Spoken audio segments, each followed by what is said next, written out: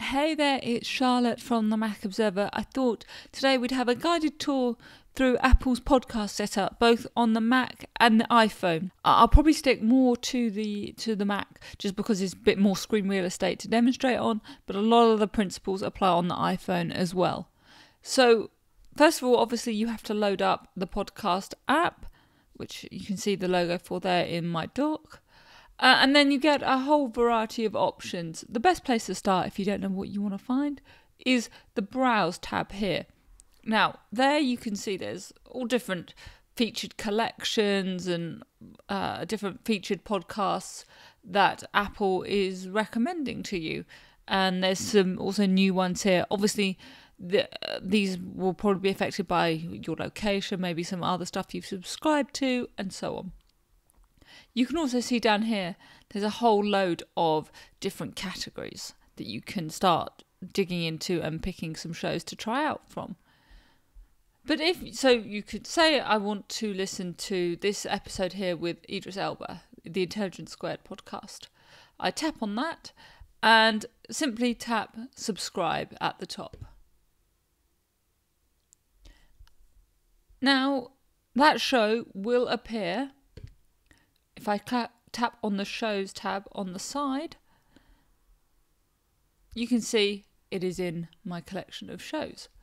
Now, if there's a, a specific show you've been recommended, you can go back to any of the tabs. I'm in browse at the moment, back where we were.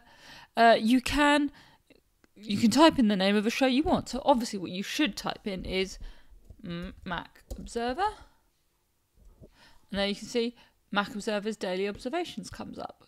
So you should tap tap on that. All the different episodes come up, and you can, of course, click on it and subscribe. If you go, I'll tap on this back arrow here, and you can see there's other different um, similar shows that are also recommended. So if you kind of want to find shows in the same thing, so you should of course be listening to Mac Geek Gab. So again, tap on the name, press subscribe. And if you have time to listen to other podcasts that aren't from the Mac Observer, maybe you want to listen to Ken Ray. So again, tap on the name, tap subscribe. And then if you go to shows, all those shows that we've now subscribed to are there. So you can see the Ken Ray one, there's t- uh, TDO, uh, and Mac Geek Gab is in there as well. If you want to see what episodes are popular and what shows are popular, so you might subscribe to them, get some big names. If you go to top charts, these uh, this is again the UK chart. So these are the shows that are doing the best in the UK. I could tap on that and again subscribe to it should I want to. If you get fed up of a podcast and want to unsubscribe, again go into shows where your episode where, where the shows you are subscribed to are, and then you can I'm sorry about this, Dave. Just for demonstration, of course, you should stay uh, subscribed to Mac Geek Gab, but you can go to tap the three dots there and press unsubscribe. You can also delete all the episodes you may have downloaded from your library. Now, just a little another explore. You can tap on the show's name and see any of the episodes, and if you want to listen to it offline, you can press this little cloud download button and it downloads and it'll be on your Mac.